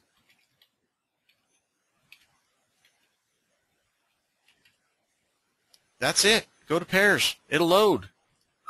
You got to this, you know, Microsoft Excel asks you a bunch of times if you want to save it in this format. You got to resave it, this, that, and the other. That's just clicking yes, yes, yes, ah, and then it'll close. So we loaded the data. So you know what the first thing I'm going to do, and guys, I called this straight. I called this straight. Now, yeah, yeah, I got 2.27, but again, let's step back. Now look at that. I mean, that looks pretty stable. You know, if you really want to get, look at that, quarter. Ooh, that's actually showing a little bit downward. Half, down. Year, going up. Uh-uh. No, I'm not messing around. I'm not doing that just because there's a technical. No way. I, that's stable market. So I'm not looking at this stuff. We got to prune. We got to do stuff. We got to play with tolerances. But what I do know is I created specifically. I want you guys to go add a variable. I created it. Extensive remodel. Now don't click update yet because we're not done. I want, I want to see some things that, that didn't pop up. City lights view. Yeah, up up here, up here, people pay a big premium for it, and up there, they're sitting in the very top of the valley. Uh, you get some pretty extensive views. I want you to add city light view. You know what? This garage bay, I I want you to drop that down to none. But I tell you what's important, because garage bay, the, this is agents being fast and loose with numbers, or semantics with names. Only thing that really matters up to me up there is a golf cart garage. You're not going to be able, if you start chopping up two different kinds of garages, uh, you're just setting yourself up for disappointment. So extensive remodel, that's what this, this, that's what old boy hired me for. So this is, I'm, I'm figuring this out. 150 grand. Let's see what you're going to get, buddy. City lights view. We got garage uh, bays is going out. We put none on garage bay. We added in golf cart garage, golf view. That's a big deal. And we haven't messed with tolerances yet. We're not going to yet. Let's update the panel. Let's get this thing starting to look clean. Now remember, 85 properties, guys. Look, we've got a ton. We got a ton of variables in that list. I, I, again, you know, we're not opposed to regression at all. There's some wonderful ones. Don't use that automated one. That's that's not that you're setting yourself up for danger, Will Rob. That's just bad, bad, bad, bad. You use one that you can at least navigate. So, okay, so yeah, look, we got ugly. We got ugly. Don't like this. Ooh, man. Now I know older people you might be on the you might be on the line. You might be older. I know you guys appreciate going to the restroom.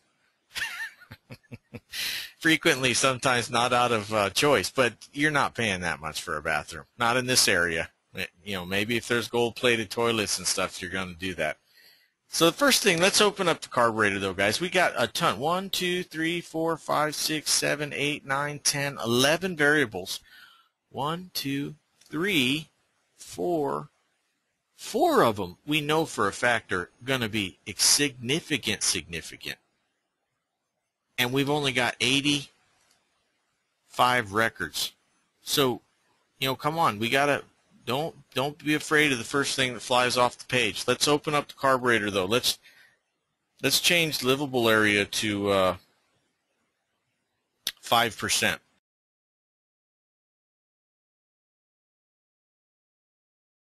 And uh, you know what? Let's just see what happens with that. Let's just click a quick update.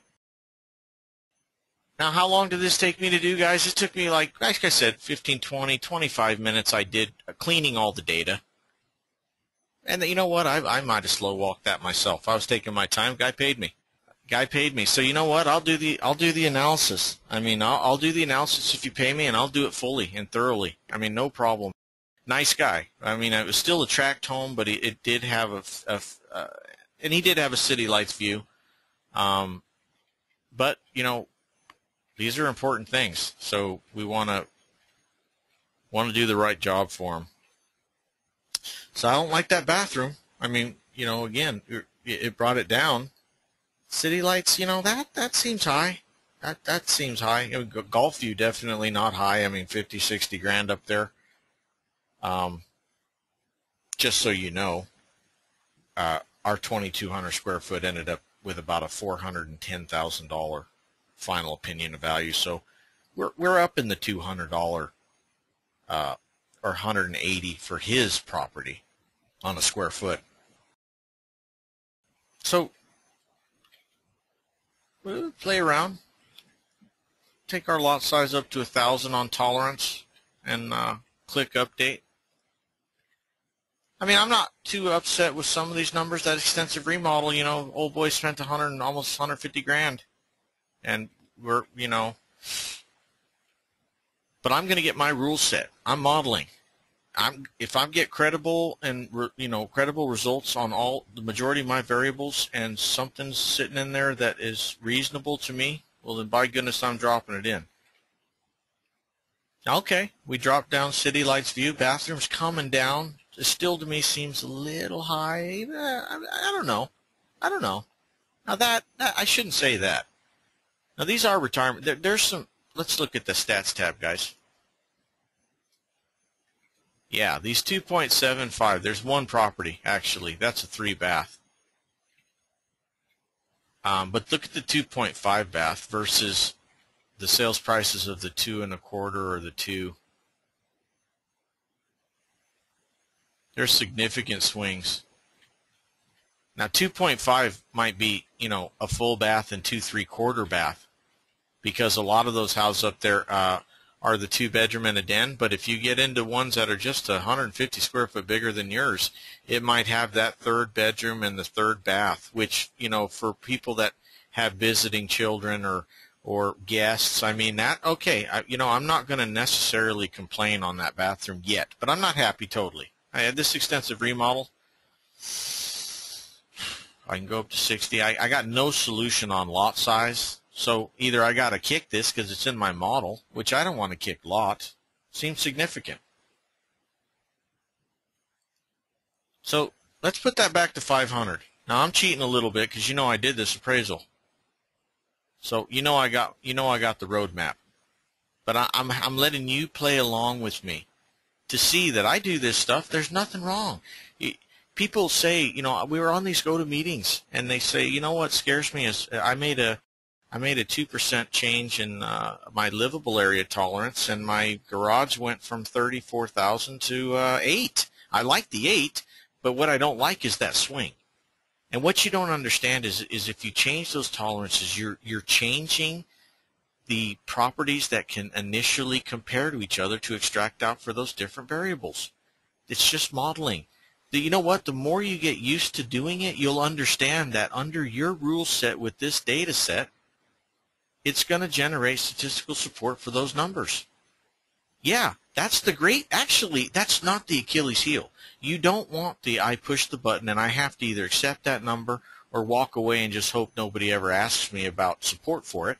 This is the platform where typically you you you can get credible numbers for all your variables. Once in a while you got to kick out that one problem child.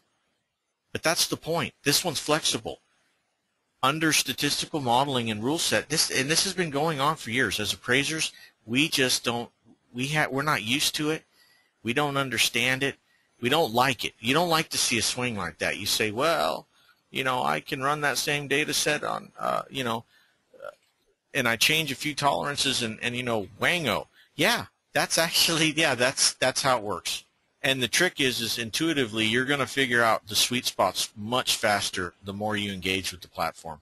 So as you continue down the process, uh, you're, you're going to see uh, what you can do, and you're going to get so comfortable at it that you're slicing and dicing like a ninja. So here, we're going to change lot size back to 500 because that no solution. That's crazy.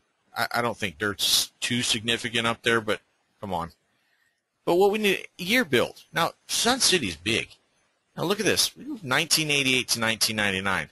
Now these newer ones, I can tell you, age is always going to show something high. Why? Because these newer ones, yeah, I don't know about you guys, but even even though this is the same area, they really hopped up the construction quality and they got they got just you're going to get more views as well in these ones because the higher end of the development was the newer stuff where they built on the bluff.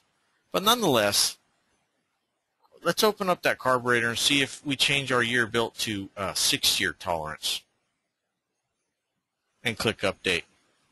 And we're all, you know what? We're almost done, guys. Uh, so, man, I'm going to try to get faster. whoa, whoa, whoa, whoa. Happy dance is coming. Now, guys, look at that. We just changed this. Here you go. Perfect example. Somebody cry, uh, you know, oh, I don't like that. I make a, a slight change and it, it, you know, got the number I like, but why? Statistical modeling. Your rules with your data set, uh, if followed, will generate these. If somebody else chooses a different rule set, well, that's not playing the same game. Either we're playing roulette or poker. If you want to play poker with me, here's my data set and apply my same rule set and you will get the same statistical support. If you're playing with a different rule set, of course you're going to get different answers. There's nothing wrong with that. The, the math behind the statistics is the same. It's just a matter of you allowing more uh, pairings to, to go on in the first round prior to iterative or less. And sometimes more is better, sometimes less is better. But I want to show you, look at that. Bathrooms, dialed it in, six to eight grand. All right, I'm on board. 20 to 28,000, 25,000 for a full-on city view. Yeah, not bad at all. The number old boy was concerned with, he spent 150. Those four that I listed in my data set, yeah, they, but trust me, they, they went crazy town with him. They, you know, we're talking custom imported marble, all kinds of just, you know, uh, you're just, I like the guy. I wanted him to adopt me. I think he had way too much free cash. but, um, yeah, we got 79,000 to 104,000, uh, with, with the center point of 90. Okay. All right. So eh, let's, let's just, let's, let's step back for a second as appraisers.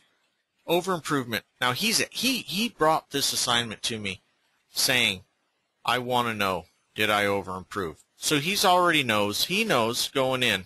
You know, it's kind of like that white elephant in the room. Uh-oh, am I going to get all this back now that he's thinking about selling? But so let's say he spent 150, which he did. I don't know, 40% for functional, for over improvement, functional uh, obsolescence, um, lack of recapture of 100% of cost. That doesn't sound bad. I mean, heck, I can even input in my narrative if I go at 90,000, which is totally supported. I can even, which I did, guys. I'm, I'm, you know, if we did this appraisal, I gave him 90. I gave him 90. I didn't want to go to 100. I gave him 90, and I put in my narrative that that would that would signify, on a holistic basis, about getting credit for 60% um, of the improvements. And you know what? When I put that 90,000, and yeah, I did use three of those fully uh, extensive remodels. And I used uh, three that weren't extensive. And when I plugged in that $90,000, it was scary. It was scary, guys. That, that Those properties that weren't remodeled lined right up. And there, there was my sweet spot. Now, if I would have needed to throw in a 100, yeah, I'd have done a different narrative and I'd have said, you know, 66%, uh, two-thirds recaptured. He lost a third uh, if that made if the hundred thousand adjustment made my other three comps. But ninety dialed them right in. Golf cart garage, nine thousand bucks, ten thousand bucks, not bad. Golf course, hey, that happens all day. Most of you probably do that intuitively because you look at numbers and you kind of get an idea. Now remember, I'm in a four hundred thousand dollar. He's not on the golf course, but in that price range, golf course, yeah, livable area, beautiful. Beautiful. Now, now his livable area is not in that 50 uh, percent. But that's because, you know, sometimes it's going to be less than that, guys. When you start to account for uh, views, I mean, this right here chews up $10 a square foot. This, this right here chews up $20 a square foot. This right here is chewing up, you know, so you can see where that's, you know, not always going to apply. Lot size, Oh man, three dollars, three fifty a square foot, awesome. Pool, spot on, almost at twenty. Repo REO year built, two thousand. Again, anything within three, four years, I didn't adjust. I said, you know, that was fine. But if I would have went and used one that was six or seven years, okay, yeah, I would have added in 12, 14 grand. And for design standards, that is just in that price range of market, not a big deal. So there's the toughie, and that's what you can do in this program. You can make a field. Clean your data. If you're getting paid to do it, I know you guys are like me. You'll say, hey, I'll do it all day if I'm getting paid. Not a problem. And you know what, guys? That's what I think is going to happen with the industry. When you're showing your work, you're going to eventually get, paid more. I mean, if you look at if you look at the appraiser space, you know, the population of appraisers has dropped literally, you know, 35, 40 percent over the last six, seven years. Interns are, you know, that doesn't even exist hardly anymore. Uh, when this market gets back to any kind of normalcy, there's going to be a there's going to be a shortage, and but more than the shortage, if you start showing, if you start showing your work, showing the kind of professionalism that you all are. And I, I, trust me, I'm the biggest fan of appraisers out there. We're not worried about that robo computer. That's never, ever going to uh, compete with you guys. It doesn't have geographical competency. You're in control. It doesn't have anybody saying, you know, hey, that $50,000 garage bay uh, ding dong computer is not reasonable. It doesn't have anybody saying that. It just says, oh, well, it's got a confidence factor and it's significant. So I'm running with it. You guys start showing your work like this, though, and you're actually going to get to where you enjoy it. Just, just engage. Trust me. Give it 20 analysis. Slice the dice. Don't be afraid to touch those tolerances. And when you start pre presenting stuff like this to your end user, uh, yeah, you're justifying those extra fees. Fees are going to go up because, look, they, they think you're a rocket scientist. And you are. I mean, you're intuitively an appraiser's, you know, not bad. Just because some people, listen, we did things intuitively. I get it. But you start showing people data like this, that's, that's your justification for your fee increases, I'm telling you. And nobody, triage, you get a bad CU score, uh, because of model adjustments or whatever, they they kick, I know the process. I got former employees that work at Fannie now. I got friends at Fannie. The process is you get the bad score on um, model adjustments. It, they kick it to a, a department. It's called triage. And there's a live person sitting there. And the the question asked when they hand your appraisal to that person and they hand them that model made by, you know, that robo computer is the question. Is the model correct or is the appraiser? You show them, they see this data in your report, you know, stamp, model's wrong, appraiser's right next. So a lot of flexibility, guys. You don't have to accept a number. I realize modeling scares people, but it's not that. If you if you engage, it actually we designed it kind of look like a video game to make it, you know, not as uh, imposing to you. We want you to engage. That's why we're going to keep doing these webinars, and we're going to keep doing making you do analysis with us and sending data. And we're going to do the hard ones because you're going to get the hard ones. You want to. You just got mapped. You're just starting out Try the easy ones first. Get comfortable with the easy ones.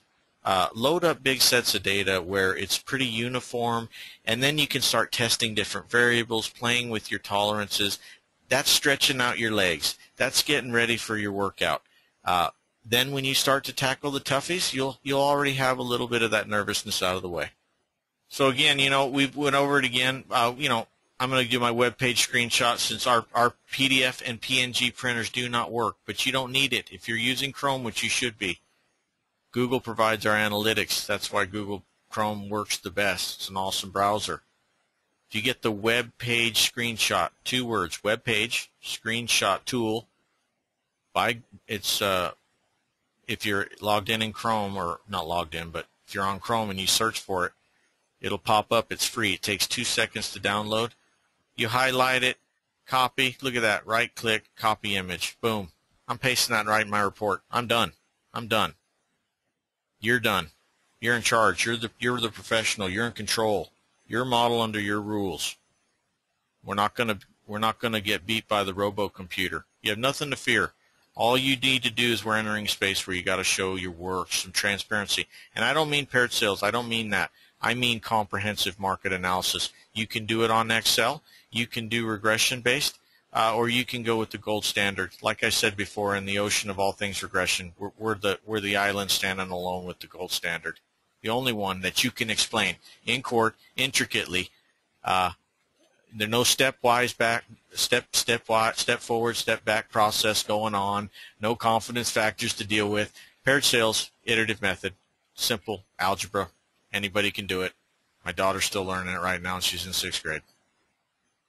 So thank you guys uh, very much uh, for coming. We'll, we'll be running a gun tonight.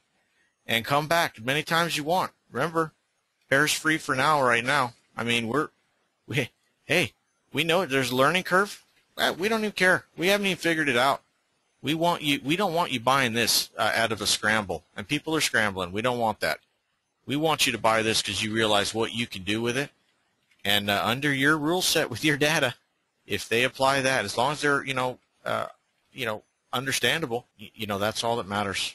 So thank you guys again, and we'll uh, we'll see you next time. Bye.